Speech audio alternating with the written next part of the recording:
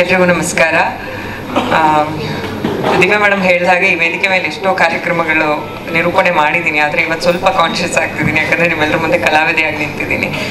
ಇವತ್ತು ನಾನು ಜೀವನದಲ್ಲಿ ಏನೇ ಆಗಿದ್ರು ಅದು ಮಾಧ್ಯಮದಿಂದಾನೆ.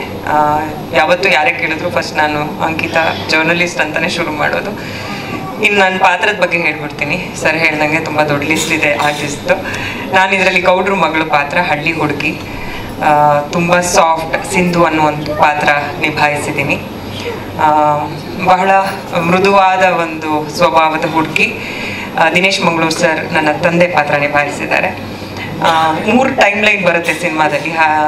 ನಾನು ಈಗಿನ ಜನ್ರೇಷನ್ ಪಾತ್ರ ನಿಭಾಯಿಸಿದ್ದೀನಿ. ಹಾಗೆ ಇದು ಒಂದು ಕ್ಲೀನ್ ಸಿನಿಮಾ ನೀಟ್ ಸಿನಿಮಾ ದೇವಿ ಮಹಿಮೆ ಸಿನಿಮಾ ಅಂದ ತಕ್ಷಣ ಕಮರ್ಷಿಯಲ್ ಆಸ್ಪೆಕ್ಟ್ಸ್ ಇಲ್ವಾ ಅನ್ನೋದು ಒಂದು ಮೇನ್ ಪ್ರಶ್ನೆ ಬರುತ್ತೆ. ಆ ಥರ ಯಾವುದೇ ವಿಚಾರಗಳು ಇರುತ್ತೆ ಅಂದರೆ ಬಹಳ ಎಂಟರ್ಟೈನಿಂಗ್ ಆಗಿ ಹೆಂಗೆ ಆಡಿಯನ್ಸಿಗೆ ಸರ್ವ್ ಮಾಡಬೇಕು ಅಂತ ಎಲ್ಲ ಆಸ್ಪೆಕ್ಟ್ಗಳನ್ನ ಗಮನದಲ್ಲಿ ಇಟ್ಕೊಂಡು ಮಾಡಿರುವಂಥ ಒಂದು ಕಲೆ ಹಾಗಾಗಿ ಅಕ್ಟೋಬರ್ ಹದಿನೇಳಕ್ಕೆ ನಮ್ಮ ಸಿನಿಮಾ ರಿಲೀಸ್ಗೆ ರೆಡಿ ಆಗಿದೆ. ದಯವಿಟ್ಟು ಚಿತ್ರಮಂದಿರಕ್ಕೆ ಬಂದು ಸಿನಿಮಾ ನೋಡಿ. ಮಾಧ್ಯಮದವರ ಬೆಂಬಲ ಯಾವತ್ತೂ ಕೂಡ ಇರಲಿ.